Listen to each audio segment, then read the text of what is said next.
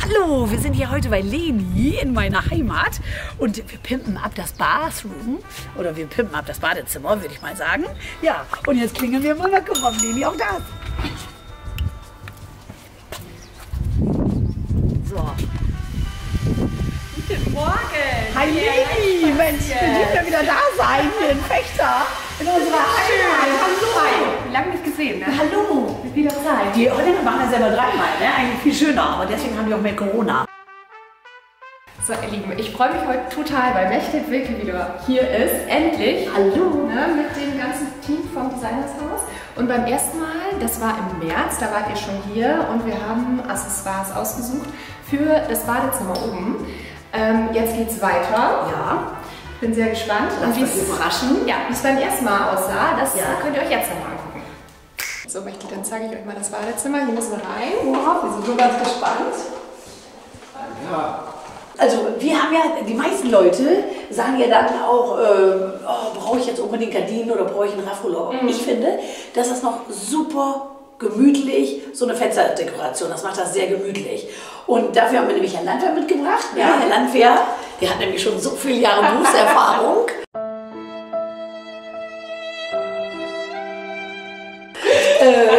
was würde er uns denn jetzt empfehlen?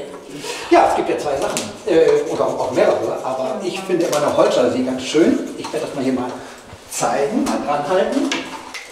Das hat also den Vorteil, dass man es nochmal kippen kann und man kann rausschauen. Hat man ein Stoffrollo, dann zieht man es runter und jetzt ist es komplett zu. Ist aber ein bisschen technischer. Ein St- ein Stoffrollo ist halt ein bisschen wohnlicher. Ne? Die gibt es aber dann in verschiedenen, vielen Farben. Können wir gleich im Katalog nochmal nachschauen, was wir da wollen. Ob wir weiß oder doch ein bisschen Farbe. Dann haben wir jetzt diesen Katalog. Genau, das sind ja im Endeffekt sind das die Farben. Also wenn man sagt, man macht Ton für Ton, du willst jetzt grau wählen, ja, also so wie die Fliesen quasi sind, dann wäre das Ton in Ton. Oder aber man nimmt eine Kontrastfarbe und sagt dann so, jetzt mache ich richtig schwarz Schwarz. oder dunkelgrau, weil schwarz ist ja zurzeit weiß und schwarz ist total up to date. Ne? Es gibt auch aus Metall, wenn man lieber Meta- Metall möchte. Und jetzt kommen wir gleich zu den Holzsorten, ne, dass man dann sagt, so, ich möchte doch lieber ein bisschen was, Ja. was Holzartiges haben. Da gibt es für alle, Oh, sehr schön. Okay. alle Geschmäcker gibt es Ja. da Ja, verschiedene. tatsächlich, ähm, ich hätte jetzt so gedacht, schwarz. äh, eine schwarze Jalousie machen, finde ich auch gut, weil äh, wir suchen ja gleich noch ein paar Accessoires. Du kriegst ja zum Geburtstag ein paar Badaccessoires, habe ich gehört. Und äh, dann, dann kann man natürlich dann jetzt auch schön mit weiteren Accessoires in schwarz arbeiten. Ne? Auch mal ein Muster wieder mitgebracht, damit man es besser sehen kann. Im Grunde genommen einfach mit der Kette nach hinten. Und dann gibt es da auch wieder einen Katalog, wo es ganz viele verschiedene Farbtöne von Stoffen gibt, gestreift, was, auch, was das Herz begehrt. Auf der Rückseite haben die nämlich solche Stäbe, damit das noch mal ein bisschen moderner wird. Ach so, da sind so Stäbe, dann hängt das auch richtig schön gerade und äh, es ist super einfach zu bedienen und das ist eben das Schöne, dass diese Stäbe da drin sind. Warum man manchmal wirklich einen Raumausstatter gebrauchen kann, finde ich immer wieder, äh, ist ja, dass man, wenn man das jetzt mal hier sieht, diese Situation ist ja nicht so einfach, weil man hat zwei unterschiedliche Höhen.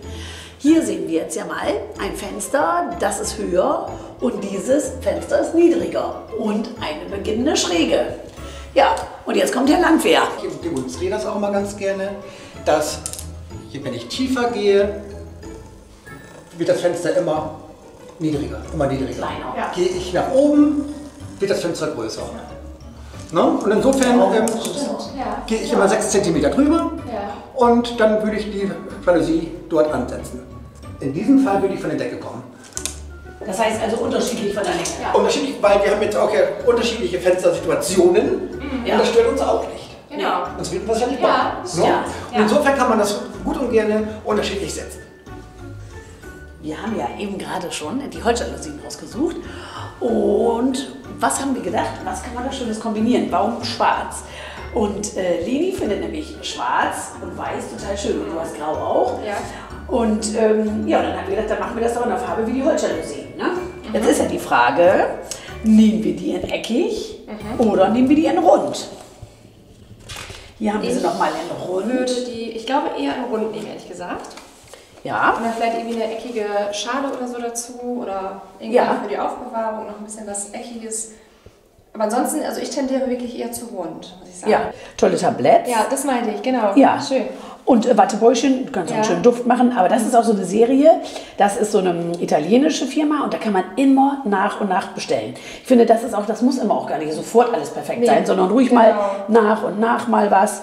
Und ähm, ich finde nämlich auch in der Tat, finde ich ganz schön an diesen schwarzen ist, dass da sogar auch die Bedienung hier in schwarz ist.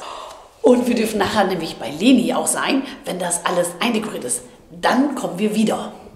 Hallo, wir sind jetzt hier bei Leni. Leni.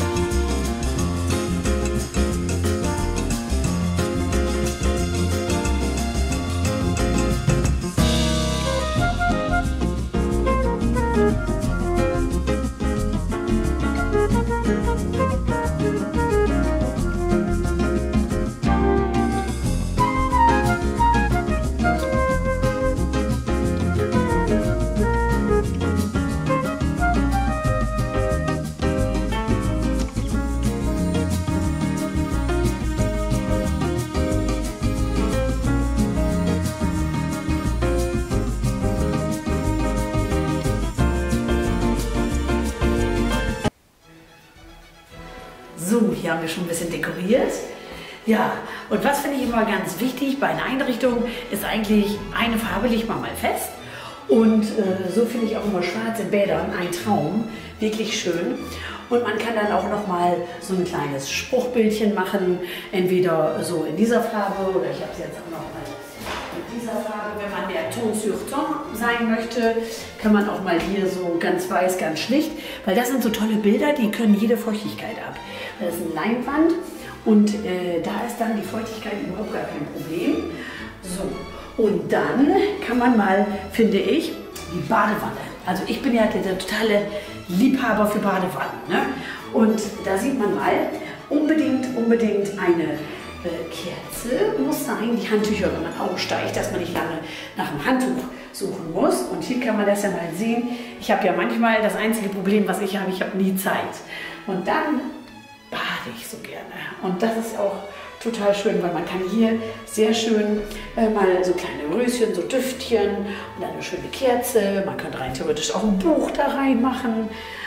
Und damit es ganz kuschelig ist, hat Leni nämlich auch schon diese schöne Badekissen für die Badewanne, damit man da stundenlang drin sitzen kann.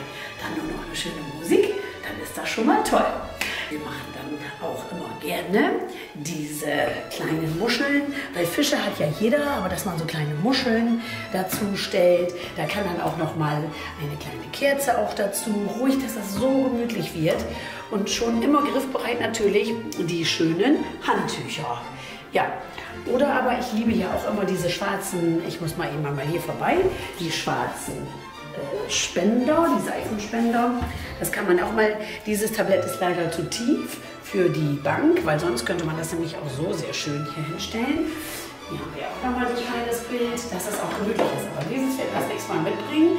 Das ist dann weniger tief. Dann kann man hier auch sowas draufstellen. Hier haben wir gleich den Seifenspender, der kann dann auch mal daneben kleckern. Und hier haben wir mal so ein Bild wieder. Und hier kann ja dann auch das ganze Zeug stehen, wie Make-up. Ja, und auch mal ruhig eine Vase, weil warum soll das Bad nicht wie ein Wohnzimmer sein? Hier kommt die Zahnbürste rein und bald seht ihr auch diese schöne Lampe, denn das ist eine Lampe, da kommt noch so eine tolle Glühbirne rein mit so einem schönen Glühstab da drin. Ja, und äh, man sieht, wir haben hier eigentlich basically die Farben Beton, wir haben die Farben Schwarz und ein bisschen Beige. Wie zum Beispiel hier in den Läufern von dem Badezimmer. Und schön sind natürlich auch diese Körbe, die sind immer super zeitlos und dann auch, ich finde gerade auch schöne Mülleimer, die können wir hier nochmal gucken. Wenn die richtig schön funktionieren, sind die nämlich auch toll. Einfach so klack, klack.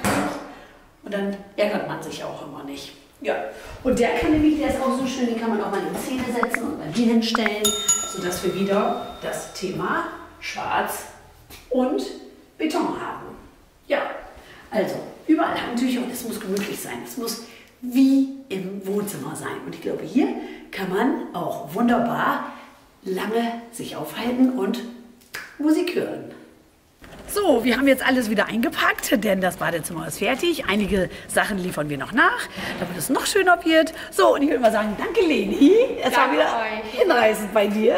Kaffee hat super geschmeckt. Ne? Vielen Dank. Wir mögen gar nicht wieder nach Oldenburg gehen. Und wir sehen uns bald wieder, oder? Ja, wir sehen uns bald wieder. Auf jeden Fall. Ciao, ciao. Genau, ciao.